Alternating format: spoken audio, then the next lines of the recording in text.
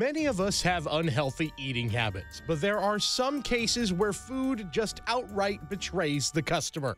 Here are some bizarre ways in which people have died in the top 10 unusual deaths caused by food. Number 10, Adolf Frederick.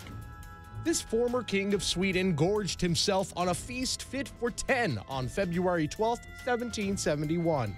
The king pigged out on lobster, caviar, sauerkraut, herring, champagne, and 14 servings of semla served in hot milk. According to reports, he died that same day of indigestion problems. Someone should have talked to him about the pleasures of moderation. Number 9. Vladimir Likhonos. There's nothing like blowing the perfect bubble when chewing some gum, right? Well, what about when the bubble pops? Vladimir Likhonos unfortunately found himself in the worst case scenario in this situation. No, not by blowing bubblegum into his own hair, but by blowing away half his face.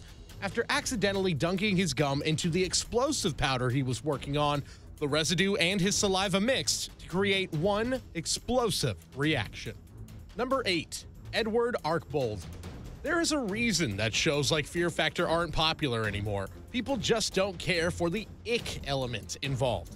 If you're one of those people, prepare to contort your face in horror.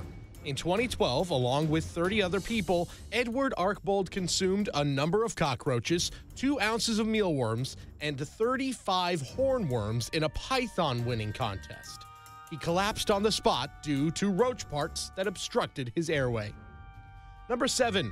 Basil Brown. Apparently, 18th century kings aren't the only ones who need to have a talk about moderation. To say that Basil Brown was a bit of a health nut would be an understatement. Brown died in 1974 due to hypervitaminosis A after destroying his liver by consuming a gallon of carrot juice a day and handfuls of vitamin A on days when he didn't care for the taste of carrots. Number 6. Bando Mitsugoro VIII. For those who aren't familiar with fugu, here's a quick catch up. Fugu is meat from blowfish species that are served as a delicacy in Japan, Korea, and some parts of China.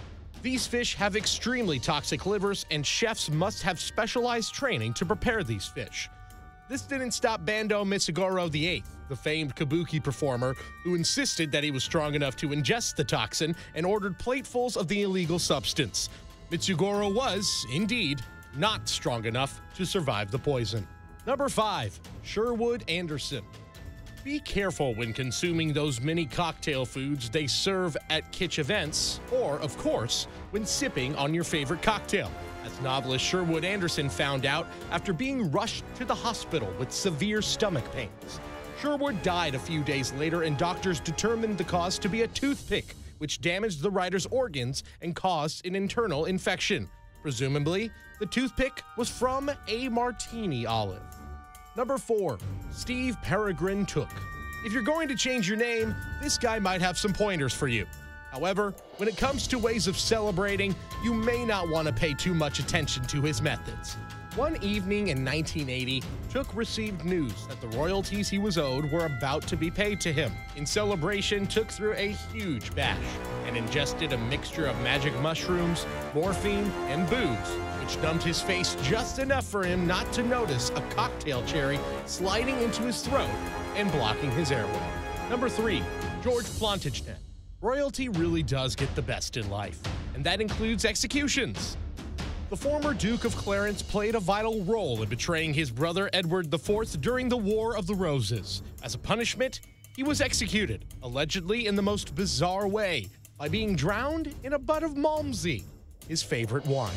Number two, Ilda Vitor Maciel.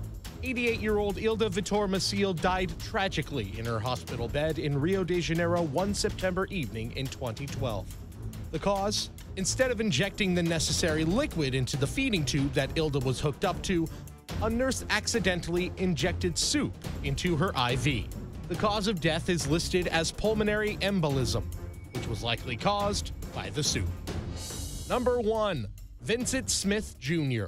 Like something straight out of the famous Roald Dahl book, Vincent Smith Jr. died after falling into a gigantic vat of molten chocolate.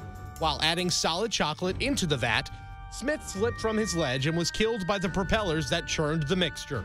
An inquiry into the Pennsylvania based Lions and Sons chocolate factory showed that the place was improperly licensed and was promptly shut down. As usual, thanks for watching. If you're not already subscribed, go ahead and hit that subscribe button to see more awesome top 10 clips.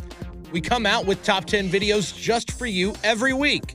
Be sure to like this clip and leave a comment. Then feel free to go ahead and check out one of our other top 10 videos that you see on the screen right now.